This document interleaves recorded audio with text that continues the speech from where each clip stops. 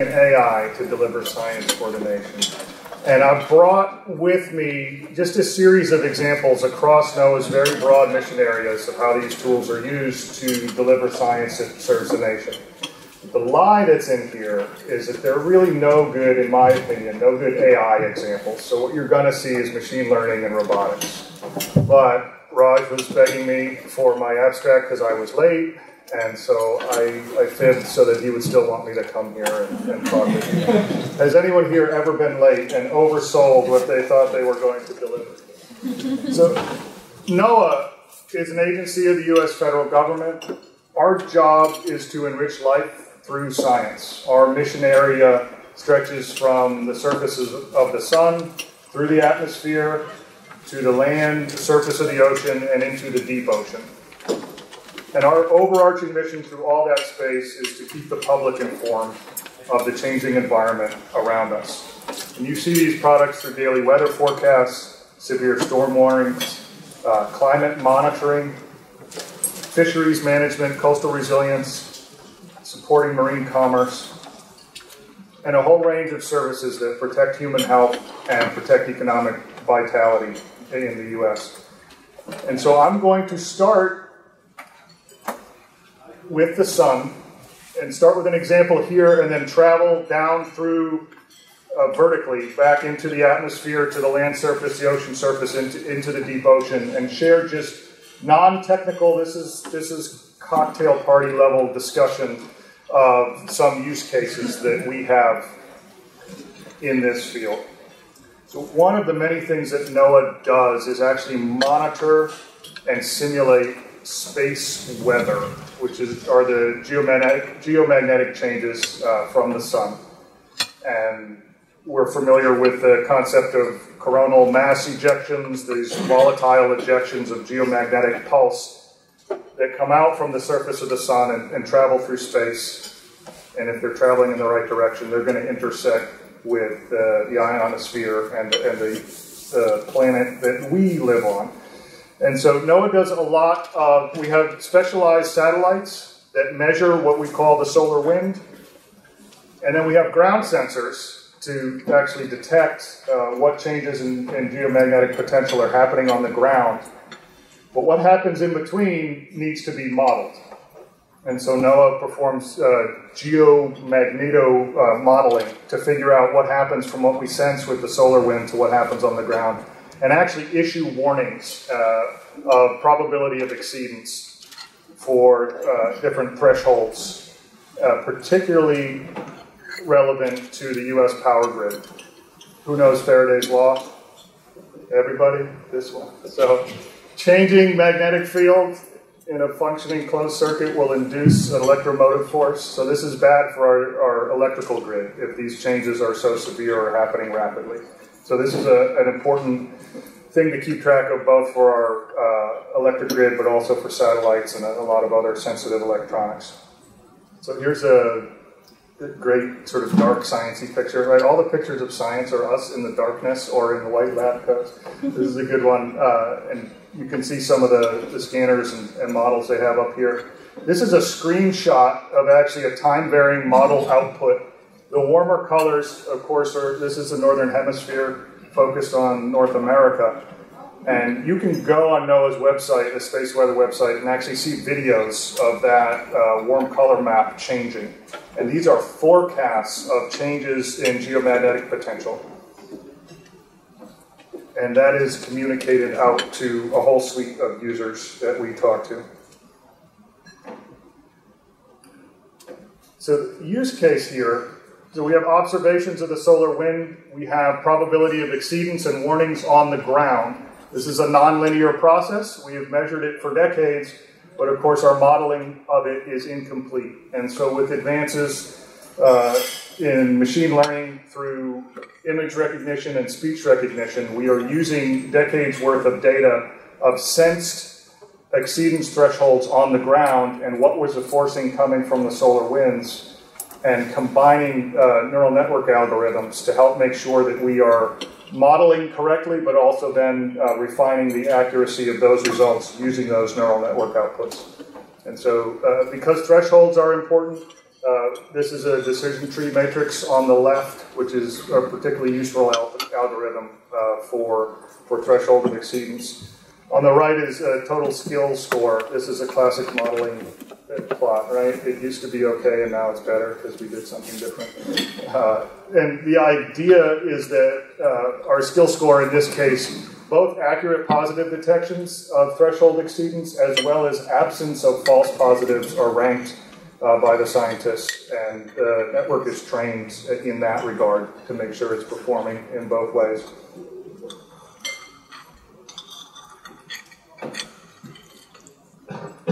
Leaving the sun. We're still in a, a mid-Earth uh, uh, orbit here, and this is one of our uh, environmental sensing satellites that we have. There are a whole range of environmental sensing problems that NOAA designs satellites. We design them in concert with NASA, and then and then sense the Earth from space. So of relevance on, on this particular satellite is visible infrared imaging radiometer. And this is, this is used together with synthetic aperture radar together to uh, remote sense both in the visible and non-visible spectrums, a whole range of environmental uh, factors. Those could be snow and ice cover, sea surface temperature, cloud cover, cloud thickness, ocean color, uh, winds at the, at the north and south pole, all sorts of items. The use case I want to talk about is actually around oil spill detection. This is an image from the Deepwater Horizon leak in the Gulf. Uh, the thing that doesn't look like beautiful, clean water is oil. And so for a massive event like Deepwater Horizon, there, there's not a question that there has been an event, but there been a leakage event, but there is a question about its severity, how it is tracking over time, the ability of our ocean models to actually help predict where it's going to go and how it might disperse. And then separate from that, there are over uh, a thousand annual cases in the U.S. economic zone in the waters off the U.S. alone where we have smaller leakages, either of oil or illicit discharge from commercial vessels. And we cannot have a staff of people that are just scanning uh, imagery all the time to try to detect these. And so, one of the features that we've used machine learning for is uh, texture classification. So, this is uh, remote sensing from that satellite and trying to classify differences in sea surface texture uh, based on the returns back to the satellite. And so, through this, what we have is an algorithm that can help detect anomalies in sea surface texture and then trying to train that beyond just a detection of yes or no, but actually uh, improving its skill at uh, making clear which ones might be oil spills or illicit discharge based on specific textural and uh, spectral characteristics of that sensing. And so this is the bird foot. I'm going to go on the right screen. This purple part is the land, or the lighter purple. this is the land. This is the southern terminus of the Mississippi Delta. And what we have in the center, this is tagged as an oil spill, actually from a known uh, sunken vessel that periodically, it hasn't been removed and it periodically discharges oil. And what we have over on the right are similar detection, but not oil spill. You can see in the in the visible range there is a discoloration. This could be uh, it could be seagrass. Uh, it could also be dredge spoils from the navigation channel being tossed aside. And so this is a good example this, uh, of the oil spill detection of a joint machine learning human uh, detection system. But we don't trust the algorithm enough to give consistent true positives. But what we do is allow it to scrub all of the ocean imagery that we have and flag uh, target areas that are worthy of human inspection. So we have a small group of two or three people that actually go after the fact and do manual detection and closer inspection on all of these alerts. And we have direct line into the U.S. Coast Guard if we think there is an unreported spill, or if uh, if a vessel comes to port in the U.S. with a with a bilge water fill of dirty water, they have to pay to pump that out and have it environmentally treated. So there's a strong economic incentive for them to dump that bilge water before they get to the coast. And so we have had instances where we have flagged uh, within a couple hours what we think is illicit discharge, and we hand that off to the Coast Guard, and they'll send a cutter out and inspect that vessel. Here's another map image of that. Uh, this showing a drift line. Uh, here's the leakage spot, uh, spot, and then the drift line of the of the contaminant. Uh, this is oil in this case again.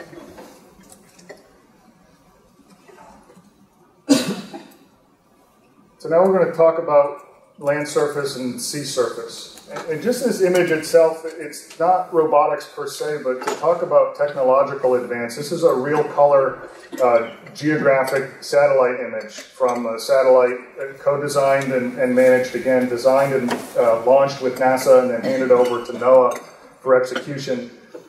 This image was not possible four years ago. We didn't have the possibility of having high definition, real color imagery uh, from satellites uh, as recently as four years ago. And so we're still seeing a lot of advances in just basic quality of remote sensing like that. When folks think about NOAA, aside from the deep sea exploration, the most common uh, connection folks have with NOAA is with the National Weather Service and the modeling and the alerts for regular and severe weather that are impacted. And so there are incredible amounts of resources spent at NOAA on the broad problem of numerical weather prediction, which is how do we measure all of the inputs and then the, physical and chemical changes in the atmosphere to predict changing weather. This is a schematic of how numerical weather prediction is discretized and made into a solvable problem. So I hope you can see that our planet is here. And then there is a there is a uh, lat long grid is spread around the Earth, and then there are also vertical depths to that. So each node in here is a computation node in a essentially a chemical fluid dynamics model. We're solving the Navier-Stokes equation, and we're solving uh, chemical and heat exchange within each grid point, each, within each time step, and over a whole host of variables that are listed at the bottom. And we do this every six hours for the country, and more frequently when there are storms. And we have special systems when there's a hurricane or a tornado, tornado system. There are actually special sub-modeling teams that just model those severe weather specific events. This is what we're talking about as just everyday weather. So you could imagine this is a very computationally expensive calculation. And there are kind of two parts to it, very roughly. The first part are all the physical parameters and the solution from node to node, from time step to time step, of how all the physical parameters are changing. And then separately, this is not a closed system. The Earth radiates heat out and it receives radiation in from the sun. And so there's a constant uh, radiation forcing that's going on through the model. And those two phases, that what I think of as just the physical fluid dynamics solution and then the radiation solution, they both cost about half of the computational expense of producing an accurate numerical weather prediction. And so one of the areas that we have been able to make improvements, oops, that doesn't make sense yet, is through the radiation forcing, again, deeply nonlinear and difficult to solve, at least for the fluid dynamics, we have Navier-Stokes. You can estimate turbulence closure and some of the smaller processes that can't be modeled within the grid and you can get pretty good. The radiation modeling is even more difficult.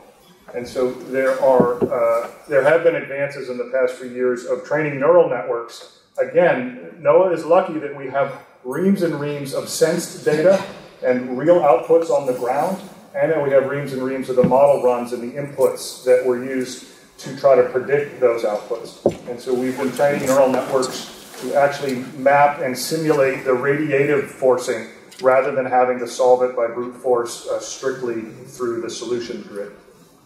And so this is a, a, typical difference plot. We're up on the top. I actually don't even know which is which, but one on the left is the pure brute force solution where both the radiation and the fluid dynamics are solved within the mesh. And then on the right side is the fluid dynamics solved on the mesh and the radiative solution provided through the neural network training. And then on the bottom are difference plots where white colors show small differences. So you can see we're having, uh, we still need to make improvements around the equator, but in the uh, outside of the tropics and at the poles, we are doing, uh, we are doing well. this has resulted in a, depending on cloud cover and the complexity of the weather on that day, uh, the low end of improvement has been 16x improvement on uh, wall clock time uh, for the simulation, and upwards of 50 or 60 uh, if it's a more simple weather day. So folks are excited about that. We're going to move to the surface of the Earth real quickly. NOAA creates and maintains what is called the National Spatial Reference System. So we know there's a, a constellation of global navigation uh, GPS satellites up in space. So you open Google Maps on your phone, and you get a blue dot that shows you where you are on the Earth. When your phone and that sensor is talking to the satellites, what they are actually talking about together are where are you in relation to the satellites. They don't yet know how to connect you with actually where you are on the ground, on the surface of the Earth. We need a model for that. That is the uh, National Spatial Reference System. And within that, of course, there are many things on the surface of the Earth that aren't a GPS antenna or looking at their own GPS information, where we need to know where we are in, in relation to this building, that parking lot, uh, the center line of a highway, or a whole bunch of use cases all of those things need to be tied into the same spatial reference frame and same vertical reference frame to make sense of all the measurements and tracking of where they fit relative to each other. And that is made possible by the National Spatial Reference System. One of the important services that NOAA provides free of cost, aside from taxpayer dollars, to the commercial enterprise regardless of who you are, if you're a researcher, if you're a Trimble GPS, if you're Fugro who do global scale remote sensing, if you have a, GPS, a piece of GPS hardware and it has an antenna on it, that antenna needs to be calibrated so that you can know exactly when it senses where it thinks it is on the surface of the Earth, that that is accurately tied in to the rest of this system. So you think about an antenna for GPS, it's usually the white uh, UFO looking things. You've seen those. So it has a geometric center, but where is its actual electropotential center? When it is talking to the satellites and saying, Here I am, well, where is that exactly? Is it on the rim? Is it in the geometric center? Does that change as that sensor is tipped and moving through space? So this would be influenced by if you tip it one way and it's talking to a satellite and suddenly that signal is going through more of your hardware, or less of your hardware or some current, little microcurrent inside of your thing, its measurement of where it thinks it is changes slightly. And so we provide a service of calibrating these antennas against uh, known parameters so that you can correct those very small biases and make sure that when you're purporting to give millimeter and submillimeter accuracy, that you actually are doing so. Up until five years ago, we used to do this by having two poles in the ground that were surveyed in. There'd be the real antenna that we knew was surveyed, and we believed that was truth. We put that on top of the one pole, and we put your new sensor on the other and measure how they recorded, and then we trade them, and you could do a calibration based on that, which is good, but not great. This image here is a custom built robot where you can see this disc. It's kind of like a mounting cylinder. You attach the GPS receiver here, and this robot goes through a series, uh, all through six degrees of freedom, and it rotates and accelerates this antenna through a whole series. And because we know exactly what the robot is doing and where it is, we can then calibrate the, the sensor's recordings and what where it thought it was and correct that and calibrate it that way. So there's a, there's a quick video of this, just going through some of its motions. Uh, this video doesn't show it, but the robot will, will tip it upside down, it will translate it.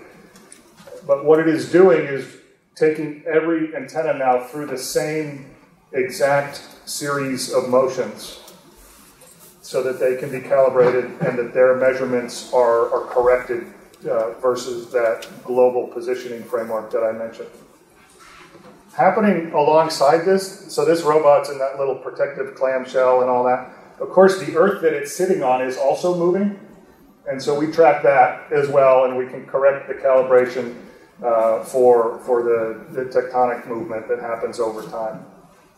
So this, uh, I, many of you, anyone working in robots, right? It's not always the Terminator with lasers shooting out of the eyes doing stuff. This is a major advantage uh, for us for the entire commercial uh, geospatial industry to improve accuracy and timeliness. It doesn't look like much, but it's a, really important step forward. Who knows what the heck this is? We're now on the surface of the ocean. That's it. Gulf Stream. The Gulf Stream. So the colors are uh, sea surface temperature. That tan orange polygon on the left, that's North America. And you can see this uh, dense current coming up the east coast. This is east coast of Florida. And then spreading out once it gets, these are the Carolinas, and heading east. And you see all these eddies that are shed across. So beautiful example of fluid dynamics writ large across the Atlantic Ocean. There are a number of ocean observing systems where we are using robotics to improve our understanding of these systems and predict, uh, ability to predict through modeling uh, what is happening. One of the key uh, use cases for us is modeling hurricane genesis, uh, transit through the ocean, and particularly how quickly it will intensify or, or weaken. This was a big deal in Hurricane Michael in 2018 that hit the panhandle of Florida that went from a category two to a category five hurricane within in less than 24 hours. And we didn't model, we got the track right, we got the landfall right, we didn't model the intensity, uh, the intensification that rapidly. And one of the main inputs to hurricane intensity is ocean heat content. And so one of the ways we look at ocean heat content is using, uh, this is a, an ocean glider so you can see it's probably its back third is sticking through the surface here. You can see its telemetry, solar panel on its tail, and it has a whole instrument package on its nose where it can measure all sorts of uh, ocean chemistry, but in this case we're going to focus on sea surface temperature. So here's a map. This is again, the, the warm colors are the sea surface temperature. You can see it's warm in the Gulf of Mexico. It's warm all the way through the mid-Atlantic and then uh, gets cooler up into the Gulf of Maine and Cape Cod. So these are, this chart here is from satellite remote sensing of sea surface temperature, which is great. These little purple lines are the glider tracks that are out there, where they are they're talking back to us, telling us where they are and what they're measuring. To look at this plot, you would think, well, everywhere here from North Carolina down is very warm right? That's what this tells you to varying degrees. What the gliders can tell us is actually how that heat is distributed vertically through the ocean, through the water column. So this from right to left is actually the transit of one glider. So it's, it's, it's bobbing up and down through the water column as it travels. And so its journey is from, from left to right here. And if you look at the surface up at the top of this plot, that is the sea surface temperature, the same thing we can get from satellites. But can you notice a big difference on the left half of this plot to the right half? In the left half, the ocean heat is highly stratified. Right? We have a very well mixed warm section and then a sharp gradient into a cold section. Whereas later in its track, it was well mixed all the way through the vertical. That is a type of information we can't get from remote sensing for the satellites, but we can get from uh, robotics that we put in the ocean. So there is now an effort underway between NOAA, academia, and the US Navy where we see an active storm system. We have to coordinate who's got what gliders where, put them all in the water, and actually set up what we call a picket line across lines of most likely transit for uh, hurricane development so that as the hurricane is tracking into that space, we can get this vertical uh, picture of what's going on through the water column. The last piece here, uh, deep ocean exploration. Uh, what's pictured here is a remote operating vehicle, and it's actually tethered to a manned submersible. So there's people in a little mini science submarine, and then this is their toy that they send out. And those scientists that are in that other submarine can drive this with like a joystick or Xbox controller. They also have live telepresence to scientists back on the mainland. one of the most scarce scientific resources on the planet is actually bunk time and science time on one of these research cruises. And so not all the interested parties can go out, but through telepresence we can get them to participate. Until very recently, this was the mode in which we would take physical samples off the, off the seafloor. So here's an urchin with a little mechanical claw. What are some use types where this type of claw might not be great to actually take up a sample? Squishy things. What else? What's that? Delicate things. Squishy, delicate. One more variable. Salt? No? Silt. Uh, yeah, tiny things, maybe. Yep. I like that. You added a fourth. Thank you. The other one I'm thinking of is uh, speedy things. Things that are a little bit quicker are, are tough to pick up. And so, one of the robotic challenges that we've recently been working on is a kind of new framework for uh, benthic means bottom of the ocean for benthic sampling. And actually using that, that claw arm to act, have the ability to pick up a vacuum hose. And you can see there's a rosette of canisters. There's five of these that can take uh, water samples or uh, actual samples of stuff or critters. And then the sixth one is left clear to, after each sample, you rotate to the clear one and you blow out any silt and sediment that was collected in the hose from the last one. Uh, and so here is a little red critter whose life is about to change uh, as this uh, vacuum cleaner comes over. I, am not a robot guy. I find it really interesting that the design solution was to use the same similar claw to actually manipulate a flexible hose rather than design a hose that you could drive directly. I don't know. That seems obvious, but I didn't. I thought that was interesting. So there is what we captured on this day. This is called a squat lobster. It's adorable. Uh, that just his, his body from the eyes to his back is probably two inches long. Little little tiny critter. Those are the use cases very quickly, and I'm at the end of my time here. Just a couple thoughts, we zoom out kind of enterprise wide across NOAA. NOAA is a science agency, but we are very deeply and more so a data agency. We do so much remote sensing and modeling that data management is a, a, a prime sort of organizational uh, challenge and mandate for the agency. The CDO, we have a chief data officer. I never had one of those when I was in industry, but it's a big deal to NOAA. And our chief data officer was just promoted to be the Department of Commerce's chief data officer. So government writ large is starting to understand that we need to be treating data uh, in different ways than just for use by our academic partners. The second line, 70,250. NOAA tracks roughly 70,000 open data sets across our whole mission, which represent roughly 250 terabytes of data. And it's kind of all over the map. It's, it's in the programs. About 40 of that 250 are the sort of uh, foundational measurements, data sets where we have been measuring different Earth characteristics for over a century in some cases. These are uh, issues of global and national significance to curate those data and make sure they're publicly available. We are talking a lot about creating our data and serving it in cloud native formats so that it can be more easily ingested and used for training. Uh, the neural network and machine learning examples I had are really custom they're typical of solution sets that are available to NOAA because of decades of quality sensing data, decades of modeling data, and decades of actually what happened on the ground data. And those are the pieces that are needed, of course, to train machine learning.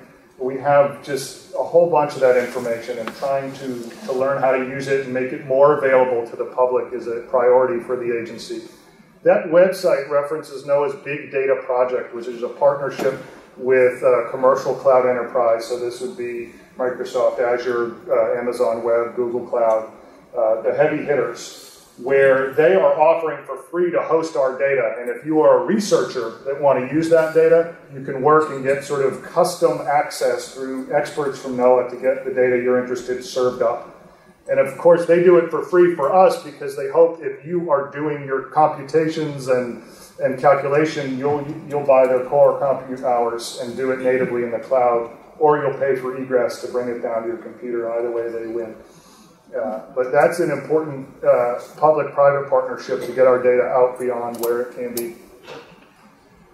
Convergence, this is the National Academy's language currently for what used to be called multidisciplinary studies. The idea that in order to advance, particularly against complex social problems, we have to have multidisciplinary uh, work together. We have that same challenge at NOAA and within the government. We want an oceanographer, a satellite engineer, uh, a mechanical engineer, and we also want, we would love if that person had some data science background and, and could merge those two sciences together. There's a huge sort of uh, comp- competition for brains out there, for young, exciting brains to come work all across private industry, academia, and in government. So it's a really interesting strategic problem of how do we attract and retain top talent. And then the last piece is do good. I was really pleased to receive the invitation from Raj on this. Uh, we think a lot about how we make change in society and how our data can help better the human condition uh, across the planet. And for me, that invites a really interesting reflection on the idea that science itself is not a populist endeavor, meaning that all, not all opinions are equal. There are such things as, as objective truths and training hard to master those truths and the techniques to reveal those truths are valuable. You don't just get a seat at the table because you want one and you care about the question. You have to have game to bring to it. And yet, at the same time, if we are seeking to use that science and information to change people's minds and change people's behaviors, it's common that we as technological folks spend time with this information and it becomes for us knowledge. It means something not just in a technical sense, but versus our own values and our own vision for society. And if we seek to use that knowledge and change behavior, it is really important that for that last part about what are the values, what is good to the society, we must invite in non experts to that discussion. Uh, there's a whole phrase and whole study of learning around co production of knowledge. This is a really important part. If you are the super tech brain that just wants to invent the next tech thing, that is amazing. I admire you and I am your champion, and you maybe don't have to work in this space. If you are interested in not just advancing technology, but advancing uh, human wellness and society as a whole, you must either yourself become comfortable with this concept of how do I bring in the voices of the people I seek to serve. Either you need to get good at that, or you need to make friends with people who are naturally good at it. And so that is my close. That's a challenge we wrestle with every day across the federal science uh, sphere. It's not easy. I'm really happy to be in the trenches with you all uh, tackling those problems. So thank you very much.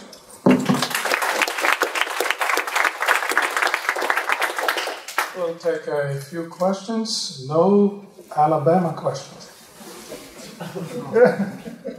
Some of you got that. Okay. Uh, yeah.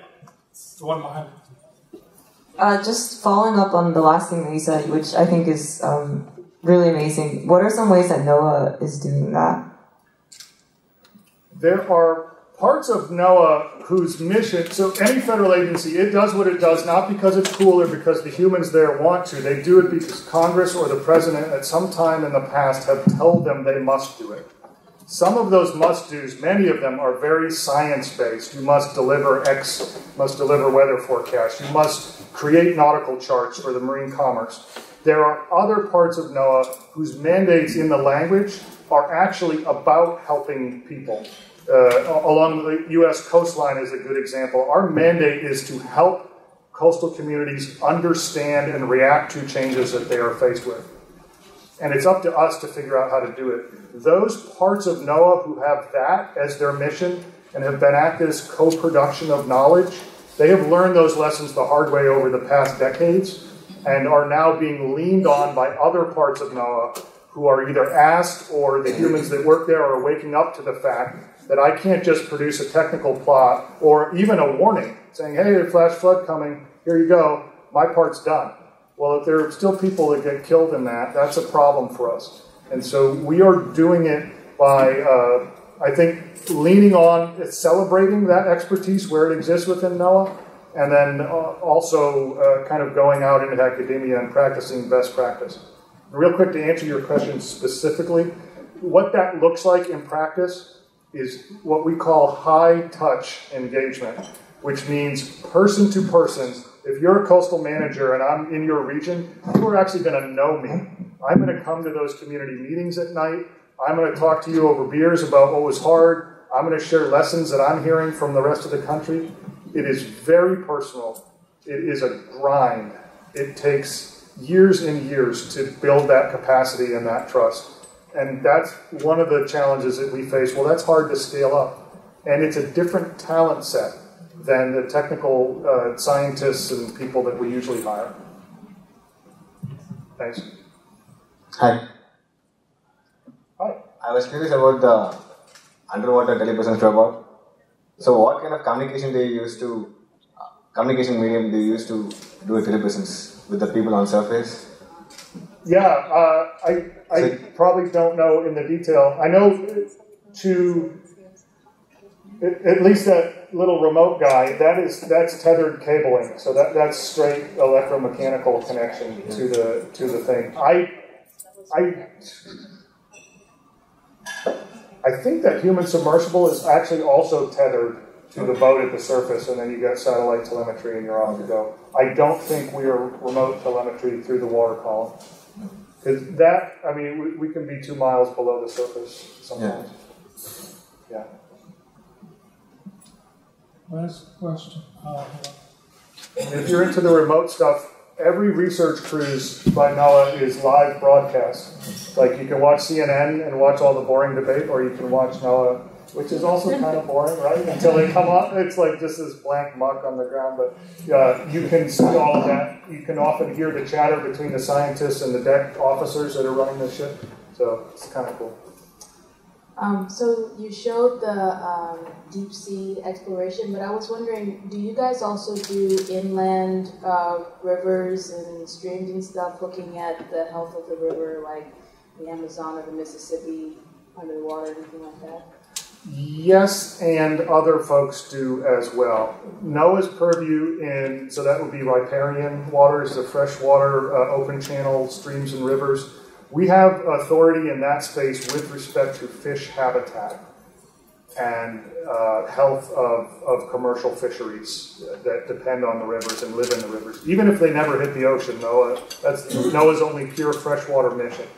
We also work in close partnership with the U.S. Geological Survey, which is in the Department of Interior, and U.S. Fish and Wildlife Service, all of whom have kind of different swim lanes in that space. So they would be the ones, together with the Environmental Protection Agency, that might be measuring water chemistry and uh, chemical health, as well as health of other non-fishery stuff in those watersheds. Okay, I think we'll end there. Uh, let's thank Mark for his excellent talk. Thank you.